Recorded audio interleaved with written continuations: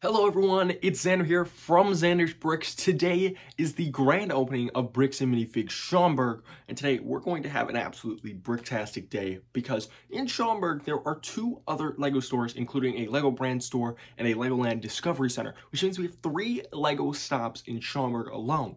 But today I'm going to be setting myself on a challenge to hit five LEGO branded stores in one day.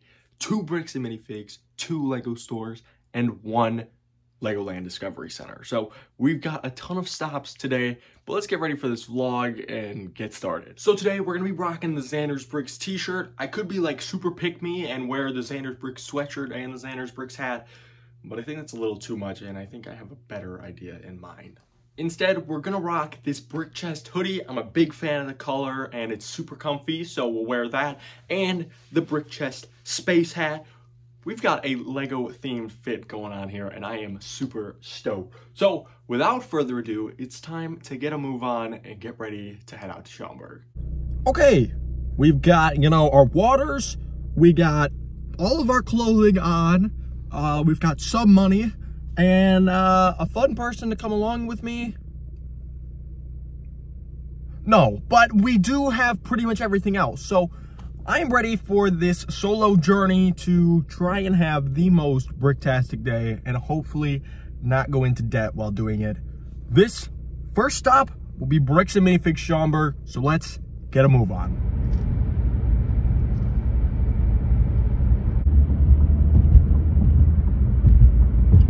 We are about 25 minutes early and there is already a line I'm starting to think this is going to be a lot bigger than I once realized. I'm going to try and get a video, but of course, I kind of feel awkward filming in public. But we're going to try our best here, guys. We're going to try our best. We have made it to Bricks and Minifigs Schaumburg, so let's get a move on.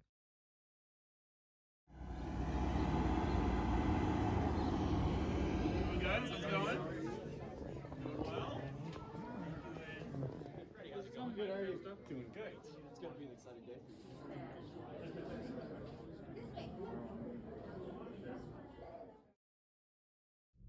All right, so we just made it out of Bricks and Minifigs Schaumburg for their grand opening. Again, congratulations to them on opening this one. I heard they're opening three more stores today alone, so that's absolutely insane. Now, I was in there for probably 10, 15 minutes. There's still probably 50 or so people in line to get in, which is absurd. There had to have been at least close to 100 people coming to this store. Now, of course, I did pick up some goodies. Um, I'll show you guys probably at the end what I get because I'm hoping to get stuff from pretty much everywhere.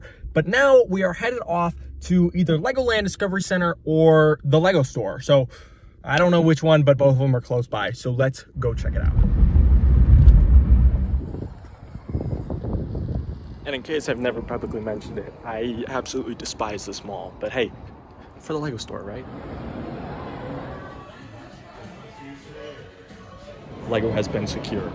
Two stops down. The next one is the closest out of all of them. I think it's literally like a two minute drive. So we're going to Legoland Discovery Center. So let's get a move on. All right, so I didn't buy anything there their stock was pretty god awful and their pick a brick wall was even worse than the Lego store, which the Lego store one wasn't great. Now, the next stop we're going to make is to another Lego store all the way in Gurnee. So it's going to be, I want to say about an hour or so drive. So I've got quite a bit of a drive ahead of me, but uh, I'm doing it. I'm doing it for Lego, man, because I got a problem. I, I'm like addicted or something. But, you know, it could be worse. It could be something way worse, right? At least it's just plastic. At least that's what I keep telling myself.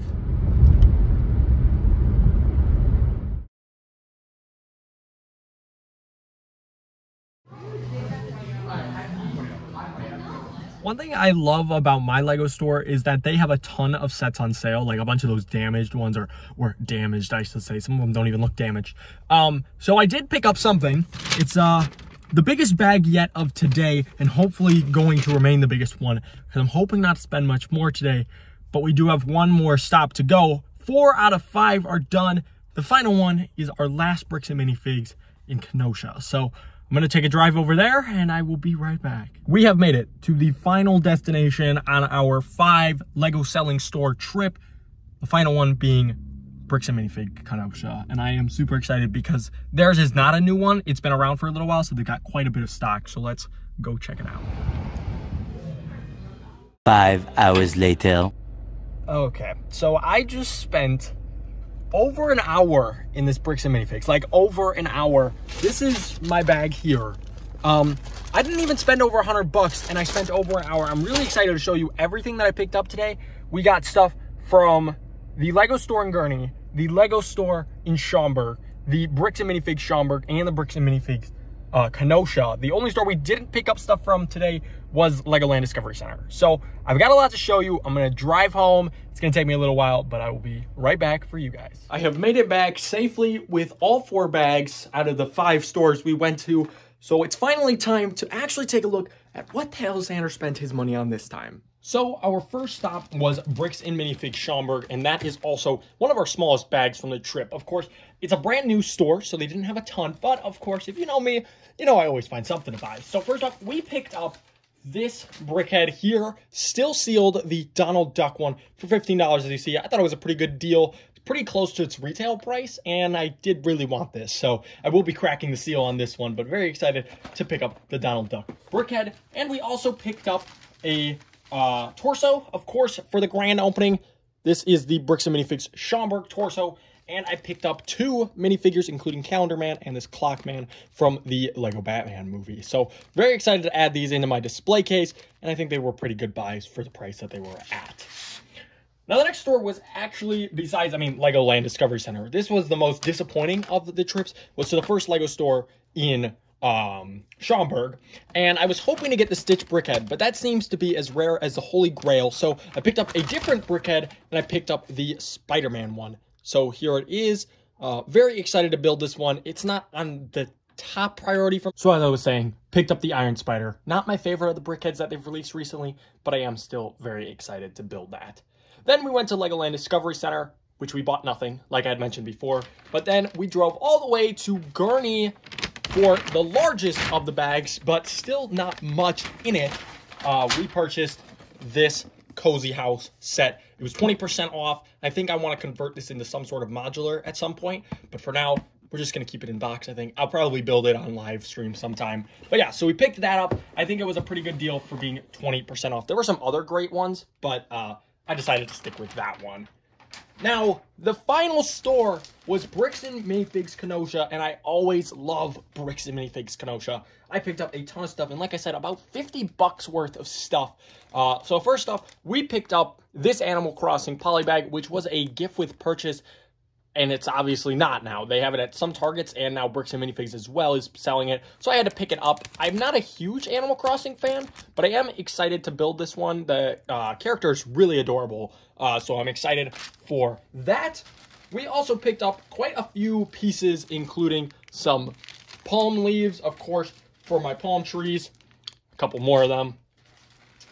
And then I also picked up two bushes. Now, this doesn't seem like a lot, but this is really big for me because they don't sell these on LEGO's website, and finding them on uh, Bricklink for a good deal with other pieces is never really that great. So these are actually used also for my palm trees. So we got those. They're a little pricey, um, little pricier than I would have liked to pay, but hey, I got it. So also picked up a rock piece, which I'm going to need for some future projects.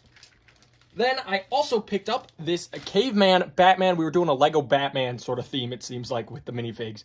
Um, Caveman Batman, which again will go into the case. Didn't have this one. I've wanted it for a little while now.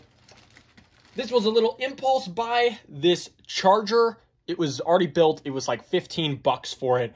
Um, and I, I don't know. I, I didn't really want it, but like, I like it enough to have it and I think it'll look good in the city. Uh, I have some other of the six wide Speed Champion sets as well, so this will look good.